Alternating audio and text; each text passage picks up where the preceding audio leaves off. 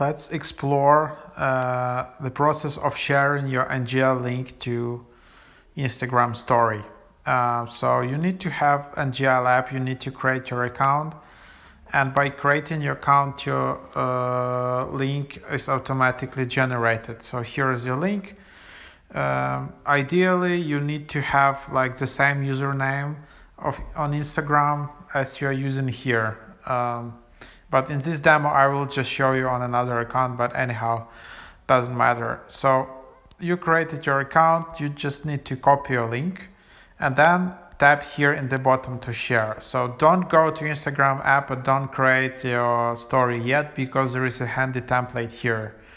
So just uh, you will need when you create a story uh, to tap in the top part to tap on the sticker tap on the link button and paste your link and then uh, just move the link to the right direction and then just yeah do that. So let's just open instagram. So you need to have your instagram app opened.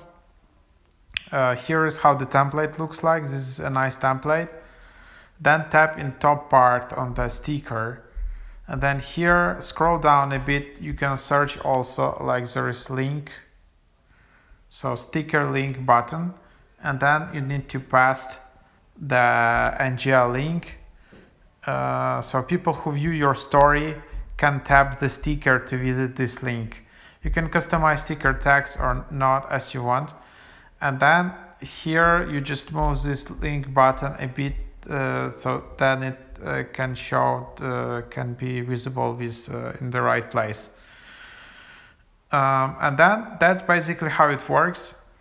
Um, then in the bottom you can just uh, send it to your story um, or to close friends.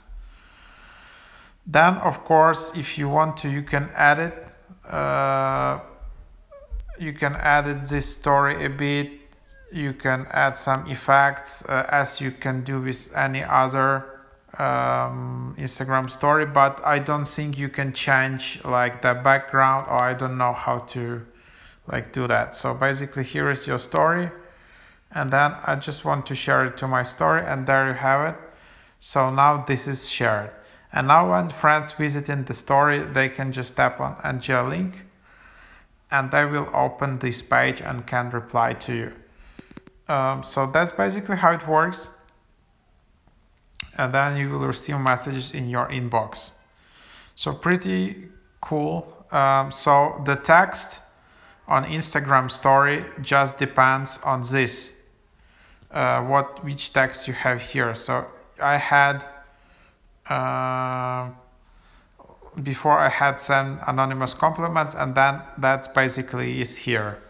So of course you can just change the text a bit and change this prompt to be uh, maybe you have bigger interaction with specific text so after that, the one thing is left is just wait until you receive these messages and then you can reply to them in Instagram.